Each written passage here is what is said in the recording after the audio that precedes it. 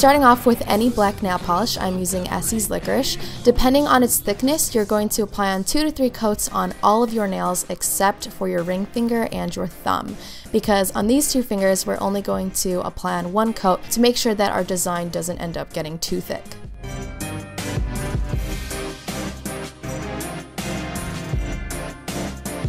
After you've let your nails completely dry, you're going to need a white nail polish and a cosmetic sponge to create the smoke on our nails. So all you're going to do is just apply it onto the top half of both of your nails.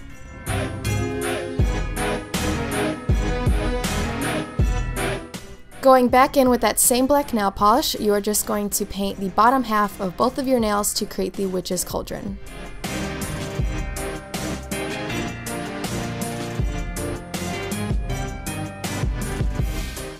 Once you're done, your nails should look a little something like this. Then after that, you're going to need a lime green nail polish. I'm using Innocent by Sinful Colors. And using any nail art tool or a toothpick, you're going to start creating a line at the top of the black. This color is going to represent whatever's in the cauldron, so you can definitely change it up, but I thought that the lime green looked really good, so I just did that to both of my nails.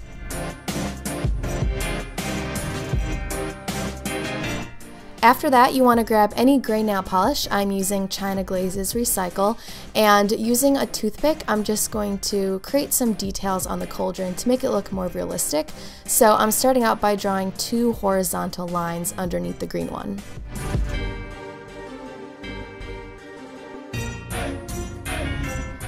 I'm also creating a handle on the cauldron by creating a circle underneath the second line.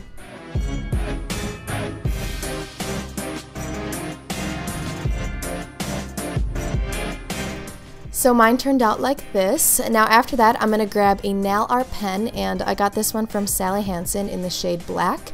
And we're going to use this to outline the smoke on our nails. So I'm just creating little squiggles, about three on each nail, and then I'm going to shade in the background black.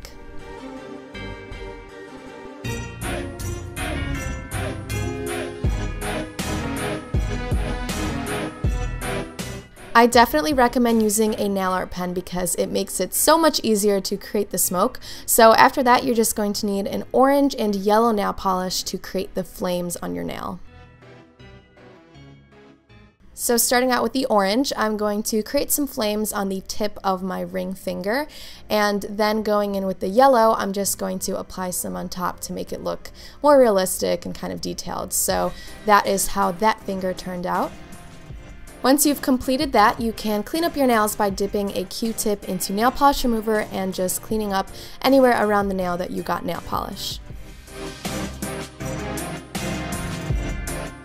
And last but not least, just grab your favorite top coat. Mine is from OPI, and I'm just applying on a few coats to every single nail.